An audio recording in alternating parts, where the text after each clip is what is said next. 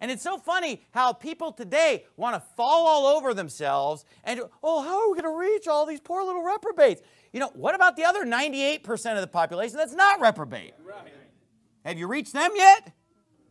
These bunch of holier than thou churches sitting there looking down their nose at people like us, calling us hateful and saying that we're a hate group and everything like that, and uh, we need to love these people. We need to reach these people. Well, you know, that's funny because our church is doing a ton of soul winning. We're winning a ton of people to Christ. We're knocking doors every single day. We're accidentally giving the gospel to more homos than these people are doing on purpose. Right.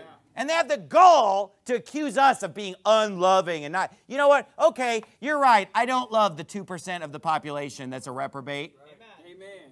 But at least I'm demonstrating my love for the other 90% every single week of my life by going out and preaching the gospel and trying to win people to Christ.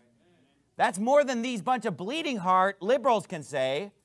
They claim they love everybody, but you know what their works show? Their works show that they don't love anybody except themselves when they're not aggressive about soul winning, when they're backing down on preaching the whole counsel of God because they want to be popular or for filthy lucre's sake, when they're scaling back the soul winning programs, when they're just sitting around and letting the whole world go to hell, their deeds demonstrate that they don't have love.